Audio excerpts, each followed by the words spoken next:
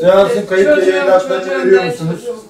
Veriyoruz abi veriyoruz. Veriyor musunuz siz de kayıt yayın haklarını? Veriyoruz. Tamam veriyorsun hadi. Siz abi. Veriyorum. Tamam.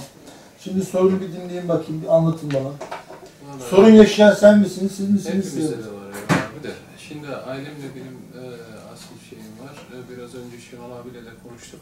Evet. Annede de olabilir dedi. Olmazsa bir de e, anneye de bir bakabilir dedi. Ama Tamam. şimdi en büyük sıkıntı bende. Bende nasıl bir sıkıntı var? Sabah saat 8.30'da başlıyor kalp sıkışması. Kalp sıkışması var. Bir. Ondan sonra e, bu buradan göğsümün tam birleştiği yere gidiyor. Evet. Bu sefer nefesim kesiliyor. Böyle e, soluk alıp vermek kesik kesik oluyor. Şu an Dilim- zorlandığınız gibi mi? Şu anda ha, bazen daha fazlalaşıyor. Tamam. Ve buradan bazen e, sağ kaburgama iniyor. Dördüncü ya da beşinci kaburgama. Vücudumda aşırı derecede bir halsizlik var. Elim kolum bazen telefonumu dahi kaldıracak halim yok. Bacaklarımın e, üst baldırlarım resmen dökülüyor. Evet. Topuklarım ağrıyor. Ee, daha önceden topuklarımda yanma vardı, şimdi aşırı derecede bir üşüme var. Ee, asabiyet var. Bununla beraber e, işte hem maddi hem manevi e, çöküş içerisindeyim. Evet. Ee, yaklaşık işte 9 sene, e, 10. senemize geldi evliliğim. E, üç defa eşimle ayrılma noktasına geldik. Üç defa e, iflas ettim, iş batırdım. E, şu anda da işte... Ne iş yapıyordunuz? Ee, en son e, İstanbul'da restoran kafeteryam vardı. Evet. Ee, orası battı. İşte son e, 8-9 aydır da pazarlamacılık yapıyordum. Ben yaklaşık 10 yıldır İstanbul'daydım. Şimdi annemlerin yanına geldim. Evet. İki buçuk aydır da Şerefli Koçlar'dayım buradayım. Çoluk çocuk hepimiz buraya geldik. Şu anda buradayım. Kaç çocuk var? İki. Siz nesi oluyorsunuz? Eşim. Siz? Ben annesiyim. Kayınvalidesi. Anneyim anne. Öz annesi. Anneyim. Annesiyim zaten. Peki. Kaç çocuk var? İki abi iki. İki çocuk var. İki. Yaş kaç sizin? Yaş 39. Hayat yaşlandırmış sizi. Hem de az. Siz? 31.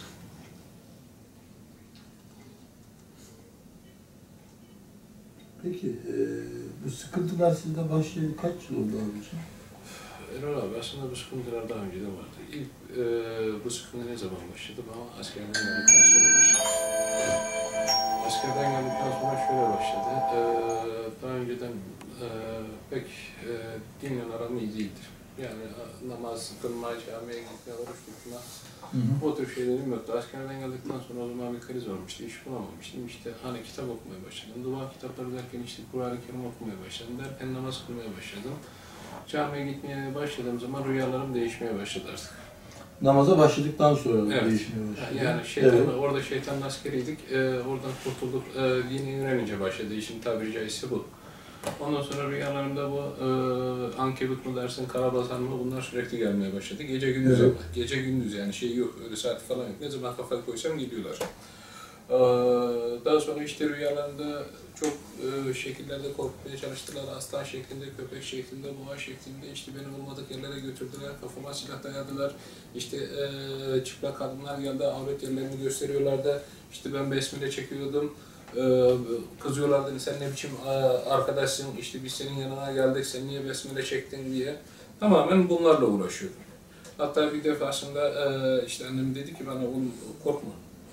Korktukça daha fazla gelir. E, işte o yarı uyku halinde gözümü açamadım ama onu yakaladım. Şimdi e, artık bu e, şey midir, bilinçaltım değil midir? İşte e, her seferinde gelmesinde siz benden daha iyi biliyorsunuz. Kürsü'nün son ayetlerinde kalkıyorlar. Vela Yehuduhu dediği zaman kalkıp gidiyor. Yani üzerinden bu kalkıyor. Peki, e, bunu uyku uyanıklık arasında görüyorsunuz. Normal e, sahil zamanlarda bir ses ya da görüntü hissedip duyuyor musunuz? Yok. Bu öyle. Normalde e, şey olarak gözükme yok. E, Gündüz normal gözük e, ya da herhangi bir öyle gözükme yok ama bunun Ama genelde- vücudunu sıkan, seni daraltan, bir e, radyasyon gibi bir enerji hattının içerisinde olduğunu fark ediyor. Var var hatta salı günü sabah e, şu kadar diyebilirim. Bir enerji, bir akım. Ya içime girdi ya içimden çıktı. Yatakta. Ne yaptın? Dua mı yapıyordun? İşte sabah kalktım, e, yataktaydım. Yok, o anda dua etmiyor. Dua okumadım da. Duayı her gün okuyorum ama o anda dua olmadı. Yani Namaz kılabiliyor musun? Hayır kılamıyorum. Namaz şöyle kılıyorum, 3-5 gün bir hafta kılıyorum ondan sonra bu e, zaten beni kesiyor ki nefes e, yani artık e, nefes alıp vermekten namaz takip ettirmiyor bana. Tamam, yeter. Sizdeki problem var mı? Sizde bir problem? Ruhsal, fiziksel. Ama Sırt ağrılarım çok. Sırtın hangi bölgeleri ağrıyor abisi? Şöyle sanki ortadaki kemik. Omurganda bir ağrı var. Sürekli hissediyorsun bunu. Ee, evlendikten sonra oldu. evlendikten sonra başladı. Hı hı. Ondan önce yoktu. Tamam. Bir şey de efendim Erol abi. E, biz evlendiğimiz ilk zamanlarda e, eşime mesela işte e, annesinin sesiyle seslenme olmaya başladı yeni evlendiğimizde. Evimizin kapıları açılıyordu. Kapılarımız açılıyordu. Hatta bir defasında benim komşumun çocuğu vardı. Yaramaz bir çocuktu. Misafirler geldiler. Kapıları kilitledim. Sabah bütün kapılarımız açıldı. Ben ondan sonra e, abdest aldım. Bütün kapıları ayet-i kürsü okudum. Açılmadı. E, onun haricinde şöyle bir, bir şey daha söyleyeyim. Bundan yaklaşık 3 hafta önce e, hani daha önce gördüğüm birçok rüya vardı. Onu anlatmak istemiyorum. E, yine rüyama geldi cin. Hı hı. İsminin e, Wolfi ya da Volti olduğunu söyledi bana. E, Evuzu'yu çekme dedi bana. Normal besmeleyi çektim. Kendisiyle epey bir görüştüm.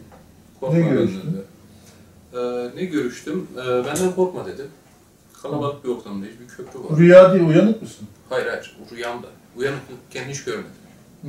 İsminin Wolfi olduğunu söyledi bana. Dedi ki 8000 defa ya dafi çekeceksin dedi. Ya, Dafi. Gafi ne ya? Ya dafi. Şeyde, Gafi diye Allah'ın bir ismi yok. Var var. E, Cevşen'de var. Ya dafi, ya dafi. E, Gafi var da Dafi. dafi var abi var. Ben de bilmiyordum o var. Dafi var, ya dafi var. Ya Dafi al beliyat diyor. Ya Dafi. Ya dafi de var, ya dafinin uzatılmışı da var. Yani her türlü kötülük ve felaketten sana sığınırım anlamına geliyor. Ya dafi, Cevşen'de var ben de bilmiyordum. Esma-i Hüsna'da Ya yok ama. Dafi, Dafi. Ya dafi, ya dafi, ya Ya dafi. Dafi Zaten al beliyat. Evet, belalarını kaldıran. evet.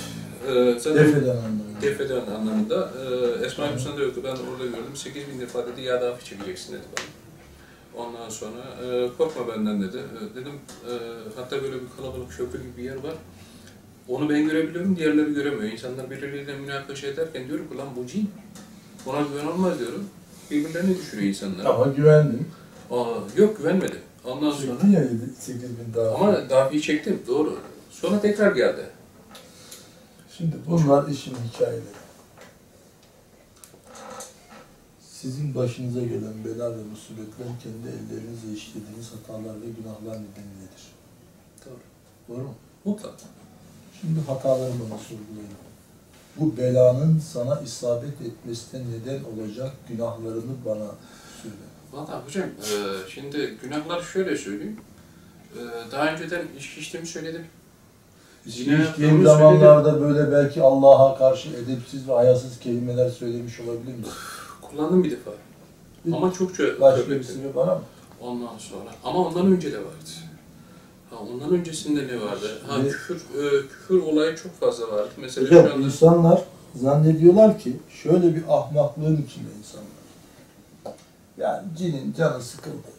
Geldi bana illet oldu falan. Böyle bir şey yok. Onu şimdi Şu videolarda Ara çok izledim. suresi 221. Şeytanların kime ineceğini size haber vereyim mi? Bu ayet-i kerime. Şimdi o öyle demiş, bu böyle demiş, kimi demiş küle basmış gelir, kimi demiş ışıktan atlar, kimi büyüden gelir, kimi sihirden. Allah Kur'an'da ayetiyle bunu net ve açık bir şekilde ilan etmiş. Ve diyor ki şeytanların kime ineceğini size haber vereyim mi? Bu kıyamete kadar geçerlidir bu ayet. Onlar günaha düşkün olanlara, iftiraya düşkün olanlara ve bütün yalancılara iner. Üç şey sayıyor, dört şey sayıyor.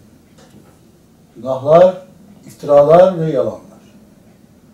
Bu üçünün haricinde bir insan bedenine ve ruhuna bir şeytanın tesir etmesi yoktur. Çünkü ayetlerle sabittir, Kur'an'la sabittir. Şeytanın iman ve takva sahipleri üzerinde bir tesiri Yoktur yoktur. Bit. Sana bir geliyorsa, bu geliyorsa, bana da gelse, size de gelse, size de gelse, günahlar, iftiralar ve yalanlar vardır işte. Mutlaka hocam zaten biz Evet. 44 Bunu sorgulayacağız. Doğru tövbeyi, doğru duayı, doğru sığınmayı yaparsak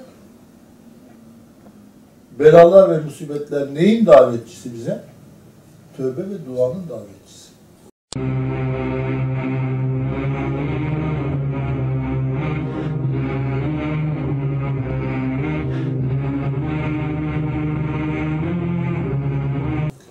bize bir bela isabet ettiyse Allah Celle Celaluhu bizi bir tövbeye davet ediyordur.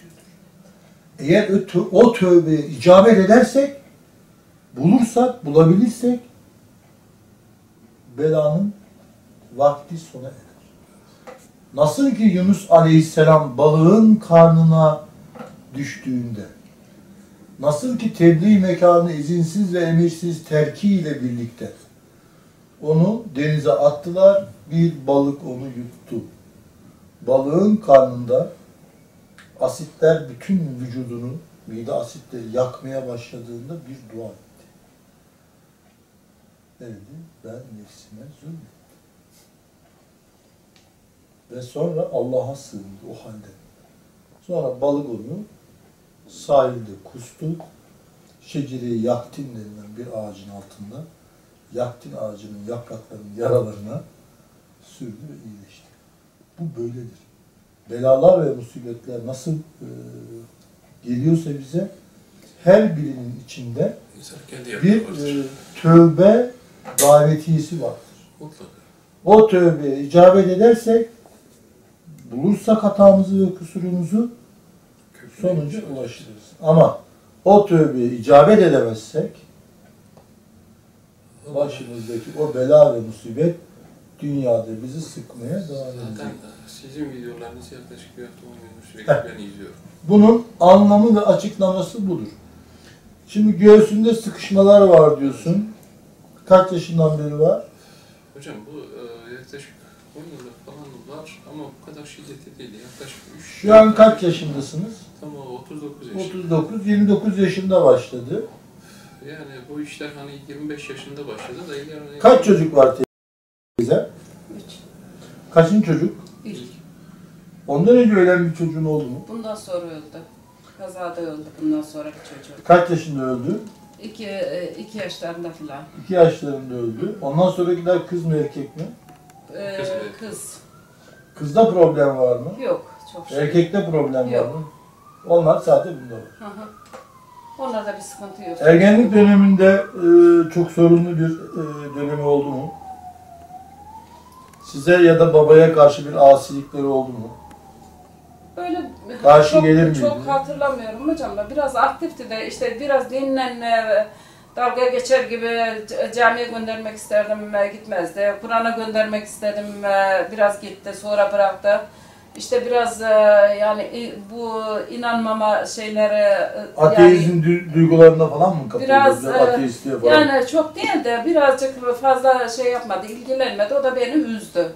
Çok üzüldüm. Ne dedin çok üzüldüğün zaman? Yazıklar olsun sana dedim ya. Ah hocam o, o bilmiyorum ne dediğimde rüyama girdi. Ta sanki rüyamda bana bir defter açılıyor, bir e, şey bir dağ üzerinde gibi şöyle bir büyük tamam eskiden e, hastanelerde ne de büyük bir defter olurdu ya. O Evet. defter gibi bir defter açılıyor. Başında bir, bir tane bir masanın üstünde defter. Bunun yaptığı şeyler yazılıyor. Ben de yalvarıyorum. Diyorum ki o küçük aklı ermiyor. Ne olur yazmayın. Ne olur ya şey onu affedin diye yalvarıyorum. Allah'ım ne olur yani günahını yazmayın diye yalvarıyorum. Ee, Böyle bir rüya gördüm o şekilde. Rüyanız salih. Peki. Ee, size ya da babasına bu sıkıntıyı yaşayabilmesi için fiilen el kaldırması ve temas sağlaması gerekiyor. İtmesi, tutması, Ee, babasına mı? çekmesi gerekiyor. Babasına mı? Hocam Babasına ya da size. bana değil de babası haksız yere bir gün bana vurdu. Evet. Bu da babasına "Ah, yeter baba anneme artık vurma diye babasını itti. Bitti. Evet. O Babası arada çünkü o e, yani haksız yereydi. Hiçbir yani şimdi şey yoktu. haklılık Bu ve da haksızlığın çocuk- ha, kainatını bu da bu yapamaz. ha, bu da o anda kalktı babası baba ne, Peki yap- ne oldu o ne an? yapıyorsun Sizce dedi. ne oldu? Yani bu bir evlat babasını tutup da ittiğinde İtmedi de hocam şöyle bir dayandı babasına dedi ki baba anneme vurma ne olur? yeter O an dedi. ne olur? O an ne olur? Dinen bir evlat bunu yapabilir mi? Yaparsa ne olur? Hocam işte o, o bir Babanın öyle yaptı. göğsüne ellerini koyduğun yerler, ittiğin yer, göğsünde sıkışan yerler hocam. Enerji orada duruyor. Anladın mı? Anladım ama o zaman yapacak bir şey yok yani. Ne yapacak bir şey yok. Sana ne kardeşim? Sana ne? Hayır, sana ne? Ya, ya şimdi. Sana ne? Biri Bırakayım anan biri baban. Bırakayım da dövsün mü annem hocam? evet sana ne ya? Ya sana ne? Sizi zorla mı evlendirdiler kardeşim? Siz de onu öfkelendirmeyin. Şimdi bak, bir kere kaderin adaleti vardır. Biz bunu anlayamıyoruz tamam mı? Şimdi siz orada ben masumum diyorsunuz. E peki ayete göre o zaman Allah onun size zulmetmesine izin veriyor. Sizin başınıza gelen bela ve musibet kendi elinizde yaptığınız hata ve günahlarla ise ve bir bela geliyorsa o arada siz ben suçsuzum dediğiniz anda zaten nefsinizi temize çıkarır. Belki birini kınadınız. Belki birine bir dedikodu yaptınız. Belki bir gıybet ettin. Belki kocasını döve, e, ba- e, kocası döven bir kadını aşağıladın. Ben olsam böyle yapmazdım dedi. Ya bir şey yapmışsınızdır ki kader orada eşinizin eliyle bir tokadı size yazmış. Adalet. İnanıyoruz Allah'ın adaletine, adın ismine. İnanıyoruz. Şüphesiz. Ben şu ana kadar Allah'ın isimleri arasında bütün isimlerine hayranım. Ama en çok hayran olduğum ismi Adıl ismidir. Şu kadar bir adaletsizliği görmedim ben. Şu kadar. İğne ucu kadar. Herkes e, başına gelen musibetlerden kendi nefsini temize çıkar. Buraya gelir herkes. Ben yapmadım. Böyleyim. Şimdi bir tanesi geldi buraya bir kadıncağız. İki büklüm. Midesi birbirine yapışmış. İnliğe inliğe geldi. Buraya. Böyle parmağınızla dokunsanız yıkılacak. Böyle bir şeydi. Yani ölüyor artık. Hocam işte kocam bana yıllarca zulmetti, şöyle yaptı, böyle yaptı. Yani eğer ona baksanız ya bunun kocasını öldürmek lazım. Bu kadını ne hale getirmiş dersiniz. Bak gerçekten böyle inliyor. Tövbelere bir başlattım. Kadın bir günah makinesi. En son tövbeleri yaparken e, yaptırıyorum. El böyle yapmaya başladı. Böyle bir şey yapıyor. Ben e, vücut lisanını bu ilimde iyi okurum. Rabbim bunu nasip etti bana. Dedim nereden çaldın söylesene. nereden dedim çaldın. Hocam çalmadım ben yapmadım. Kocanın cebinden ne kadar çaldın dedim söyle. Kocasını kötülüyordu. Alkollü geliyordu. Ben de çalıyordum. Alıyordum. Yıllarca onun hırsızlığının bedelini kocasının elinden yediği dayakla Allah ona ödetmiş. Sonra o haramları yiye yiye midesi birbirine yapışmış. İki büklüm geldi buraya. Şimdi bakıyorsunuz ki e, adalet tecellisi yani. Nasıl ben hayran kalmayayım bu isme? Zahire bakıyoruz, hata yapıyoruz. Yani hakiki sebepleri bilmiyoruz ya. Bela ve musibetin gelmesindeki hakiki sebebi.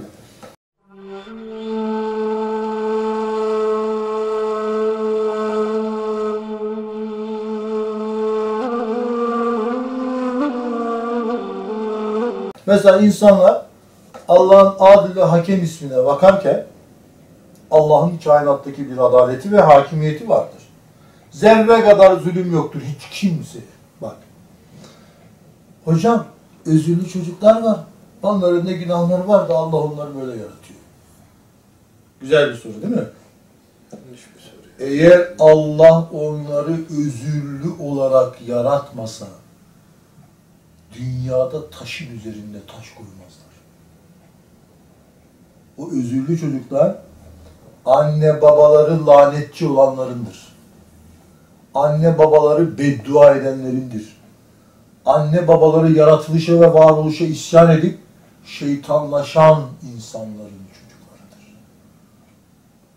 bir kusur yapar, bir hata yapar, vücuduna şeytanın enerjisini alır ve o enerjili vücuttan şeytanın bir çocuğu insan bedeninde dünyaya gelir.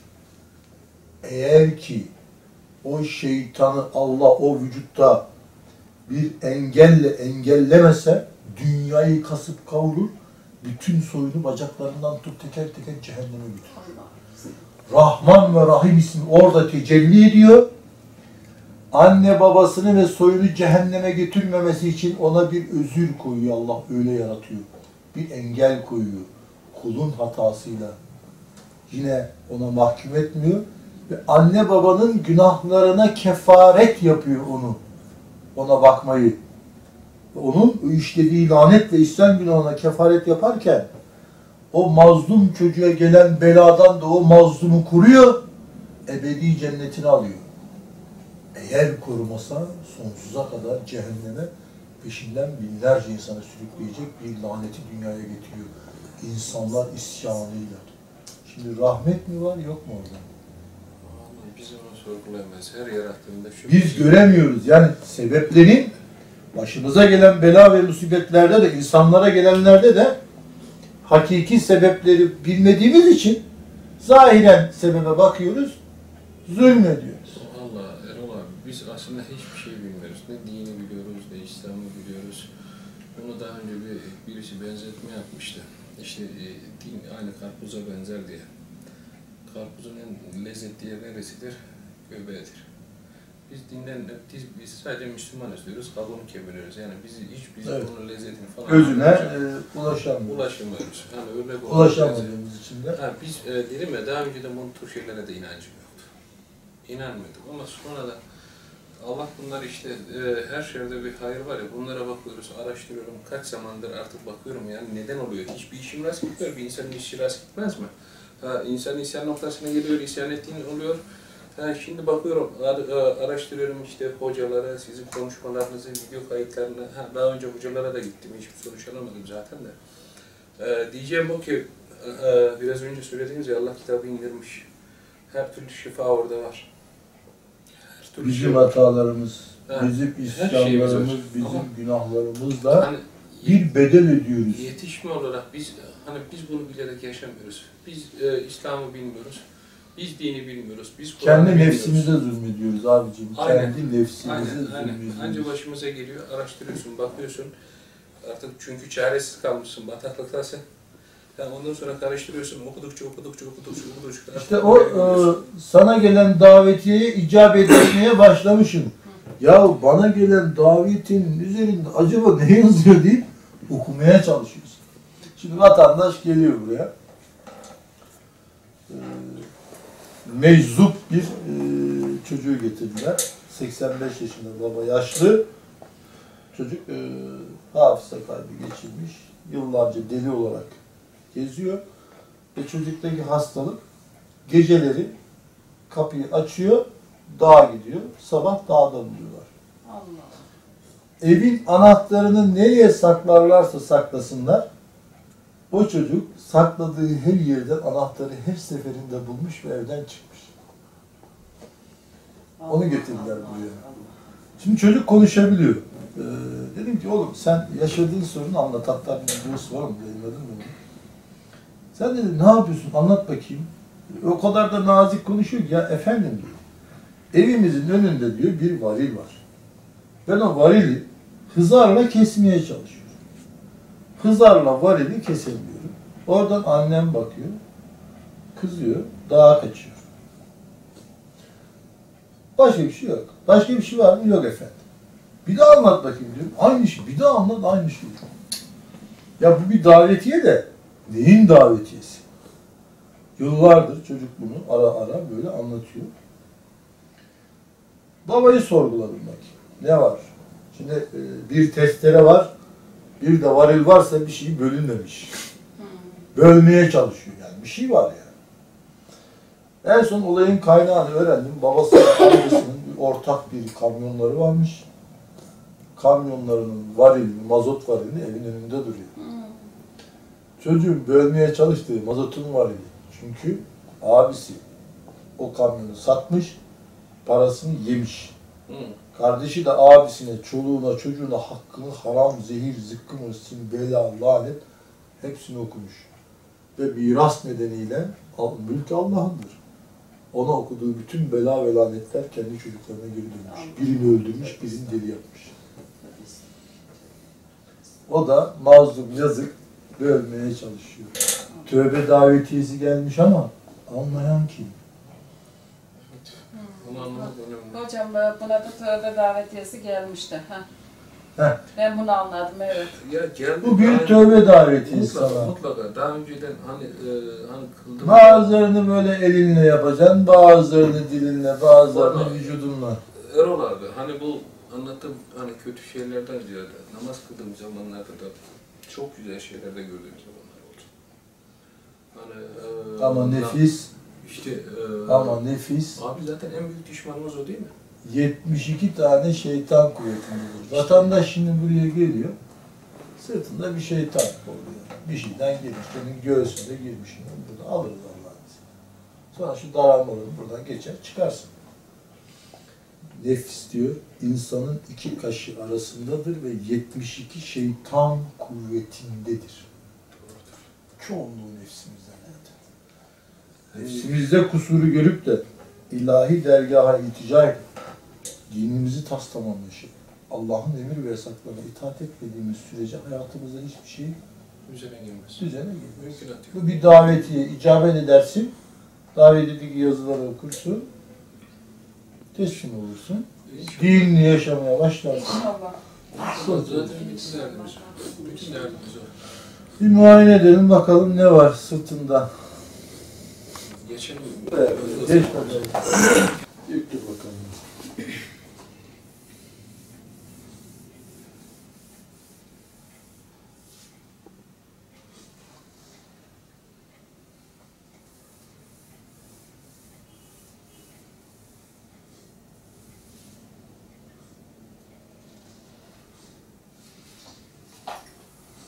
Bir tane hayvan oturuyor sırtında. Paşalar gibi. Değil mi? He? Var var hayvan var. Görünmeyen iplerle mi çekiyorum seni? Vallahi Erol'a hocam bilmiyorum He? ki. Burada duruyorum. Burada. İp, halat attın da öyle mi çekiyor zannediyor? Boynunda İblis boynuna ipi takmış şeytan. Seni sürüklüyor.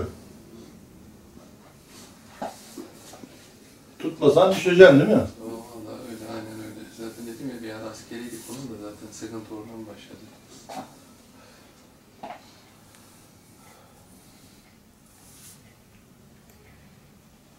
Evet. Bak bakalım. Bakalım sırtında neler var hocam. Şöyle dur bakalım. İkisinde mi? Evet, Şu meşhur sedye yap bakalım. bir. Evet. Ağrı, Yok. Ağrı. Sadece bastı yere biraz var. Burada var. Evet. Burada. Evet. Babaya el kaldırma. Anneyi incitme. Babaya el kaldırdığının burada kuyruğu. Evet, evet, evet. Anneyi incitme de burada. Burada Seni diliyle incitmiş babayı eliyle. Sadece şu iki tanesi hayatı boyunca her şeyinin ters gitmesine yeter. Bismillahirrahmanirrahim.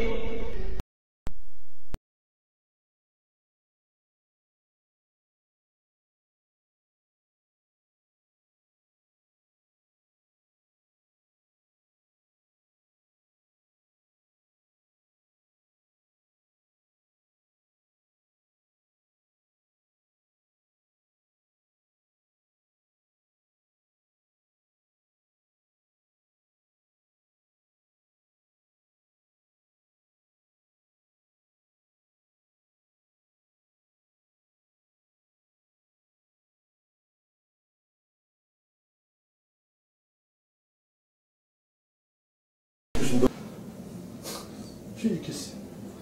Ama bu ikisinin harici bir tane yukarıda var. Bu merkezci dur bakalım bir. Az. Şurada var mı?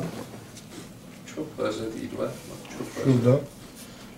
Orada da yani. Oralarda da çok fazla yok. Var ama çok az. Şurası senin işin. Evet. Evet. Ya burası. İki taraf. Evet. Evet. Sana helal olsun. Bu kadar sorun yaşarken iftiraya bile fazla girmemişsin ha. Bana büyü yaptılar, büyü yaptılar dememişsin. Allah bilir demişsin hep. He? Ya onlar da dedim ya. He? Öyle dedim onları da. Ee, o kısma hiç girmedim. Dememiş. Sırt üstü yak. İki tane var sırtta. Onları da dedim de. Aşağıya gör, aşağıdan çektiğin zaman çok güçlü duyuluyor.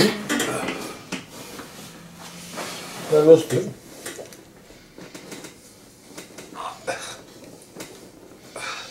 Fakirleşmenin sebebi bu ya oruç adı ya fakir doyurma adı. Nasıl? Siz yapmış olabilirsiniz. Nasıl hocam? Fakir veya yetim doyurma adı. Şurada. Duruyor. O yüzden fakirleşiyor. Para elinde durmaz bu adamın. Of! Şurada bakın. Dur ya dur hoca dur. Şurada. Erol abi deldin orayı. Ya dokunuyor. Serçe parmağımla dokunayım. Tamam tamam. Yok şimdi yok. Gel benim parmağımı sokmuyor. Ne yok? Al. Yok şimdi yok. ilk önceki gibi de ya. Tamam şimdi yok. İyi. Sıkıntı yok. Serbest dur. Ve göğsünü sıkanlar.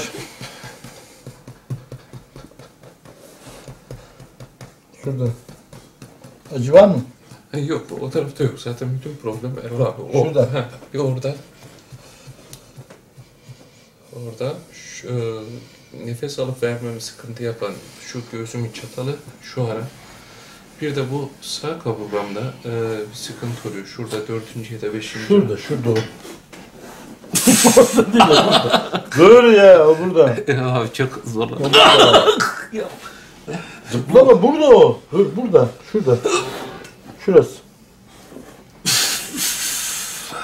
Ee, onlar yapılınca şu göğsü aşağılayacak, şurayı bir alacağız. Göğsün hala sıkışıyor değil mi? Sıkışıyor.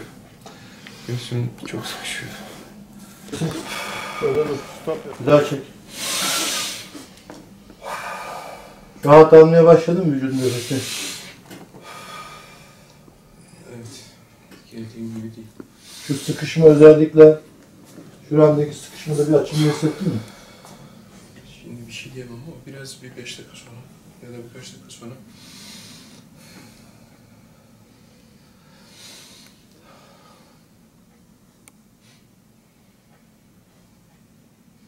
Konuşurken daha çok atraksiyon yapıyor. Dua ederken de kasım oluyor muydu? evet. He? Zaten dua ederken kasılma oluyor. O, Hangi dua yaparken? Ee, sadece şey okuyorum. E, Amel Resulü okuyorum. Ayet-el Kürsü'yü falan nasıl okuyorum onları fayda etmiyor. Aminer ve su okurken kasılıyor muydun? Yok kasılmıyorum, rahatlıyorum. Sadece esniyorum. Çok Ee, esniyorum ama. Böyle gözlerimden yaş akıyor. Amel Resulü okuduğum Peki zaman. e, kasıldığın bir dua var mı? Yok. Kasıldığım dua yok. Dualarda kasılmıyorum.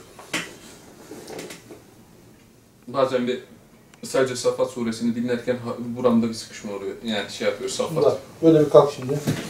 Bir daha bir sırttan çekelim bakalım şimdi. Enerji 3 kademede alacağız vücuttan. Serbest dur abi. Birinci kademeyi aldık. Şimdi bakalım bir de. Gelmiyor. Acaba niye gelmiyor?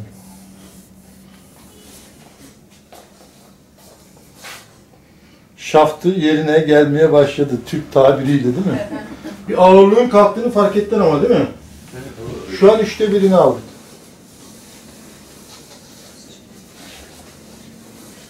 Şu an burada var. Şu duruyor. Şu duruyor. Bak. Şunları alacağız. Hocam. Ya fakir doyurum o da burada. Tamam hocam. Bu gitmez. Serbest yaparsın. Başka hiçbir şey yok yüzünde. Kalk. Şimdi ameliyat bitti.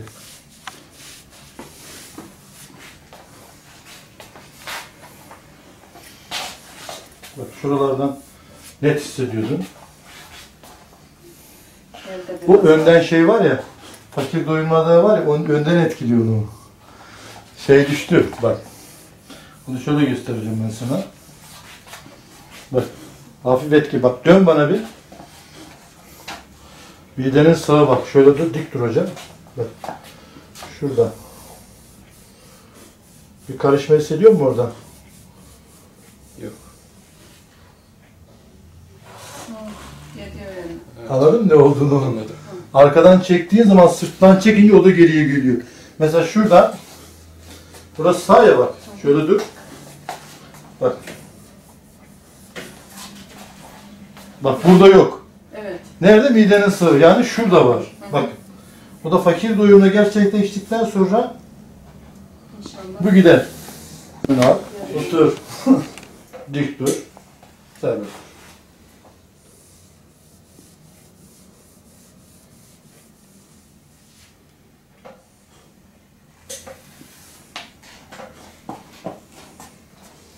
Tutma kendini serbest bırak. Düşersin seni.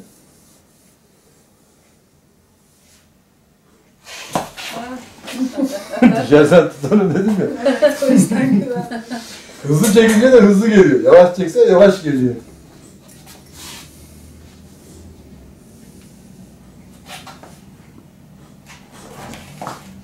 Sende sanki biraz isyan var gibi. Hı?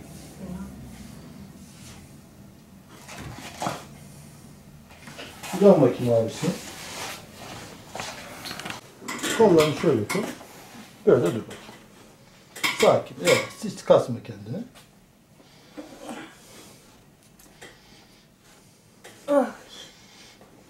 Sen isyan. Sendeki isyan. Anne babanla aran iyi. Değil mi? He? Evet. Evet iyi.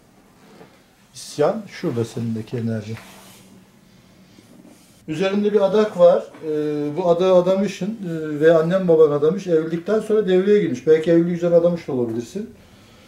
Bir de e, e, isyana girmişsin.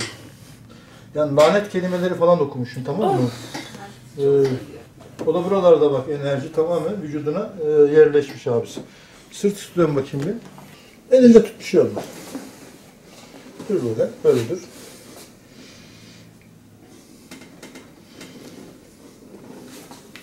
Aşırı bir ağrı var mı burada? Yok sadece dokunduğumuz için herhalde. Of. Şurada. Serbest bir dur. Hiç Ramazan orucunu falan bozdun mu? Ramazan orucunu yedin mi hiç? 61'e girdi mi orucun hiç? Hatırlamaya çalış. Hı? Sanki Ramazan orucunu yemişsin gibi sanki. Ay acıdı acıdı. Aynı şeyi sen de yapmışsın. Aynı bir fakir doyuma oraya yapmış. Hatırlıyor musun böyle bir adak adadığını? Hayır. Evlilik üzerine herhangi bir adak adadığını hatırlıyor musun? Ee, peki e, kaçıncı çocuksun sen? Senden öncekiler erkek mi? Bir kız bir erkek. Onlarda problem var mı? Hayır yok. İçinden konuşan bir ses var mı? Bir vesvese, yoğun bir şüphe, vesvese. Bazen oluyor. 15-16 yaşından beri başlayan. Bazen oluyor.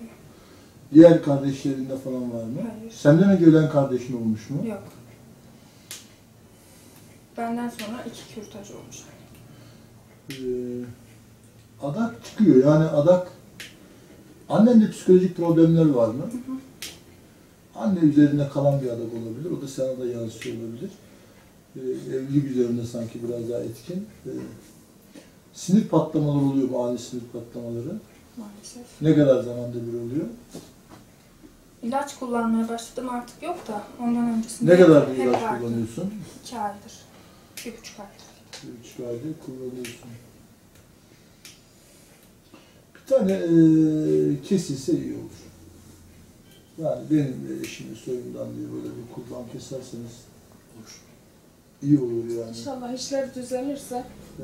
Ee, o, o ensedeki bir akım o. Omurgandaki rahatsızlığı ve ona bak. Bak saçlarını al bir daha göstereyim hangisi. Yani şu kesilmesi gerekiyor. Mesela sende ortadan çekilme çok fazla yok mesela ama burada var. Ee, şu bölgede duruyor.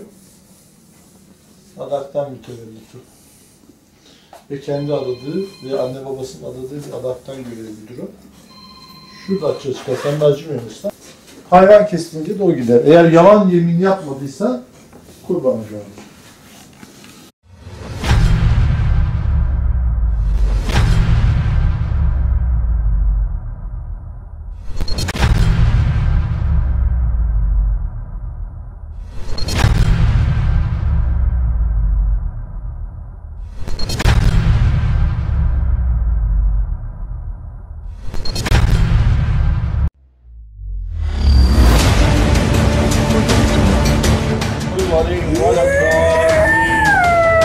Diyet ettim, koçu kestirmeye değilse koçu kestireyim mi?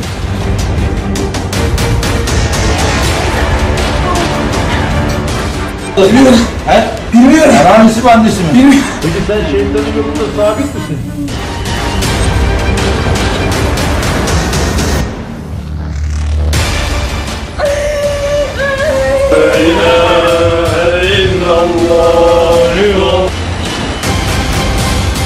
Lan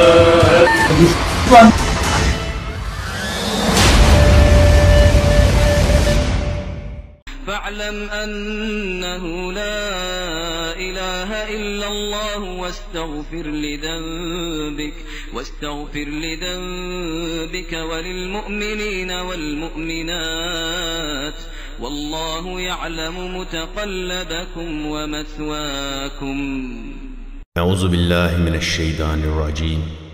Bismillahirrahmanirrahim. Ukba bin Amir el-Cuhani radıyallahu anh şöyle dedi. Resulullah sallallahu aleyhi ve selleme 10 kişilik bir topluluk geldi. Resulullah sallallahu aleyhi ve sellem dokuzuyla beyatlaştı ve birinden el çekti. Dediler ki, Ya Resulallah, dokuzu ile beyatlaştın. Bunu neden terk ettin?'' Resulullah sallallahu aleyhi ve sellem şöyle buyurdu. Şüphesiz ki onun üzerinde temime, muska vardır. Sonra Resulullah sallallahu aleyhi ve sellem onu eliyle kopardı ve onunla da beyat etti. Ve şöyle buyurdu. Kim temime, muska takarsa kuşkusuz ki Allah'a şirk koşmuştur.